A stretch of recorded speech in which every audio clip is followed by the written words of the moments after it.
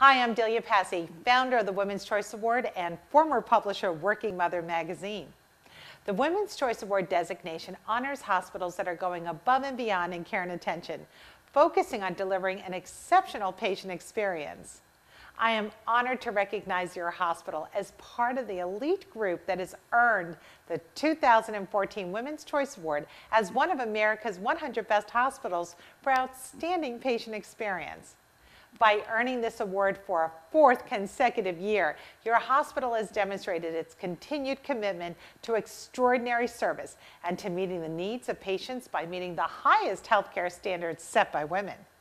The Women's Choice Award reflects the hospital's commitment to our mission to empower women and their families to make smart healthcare choices.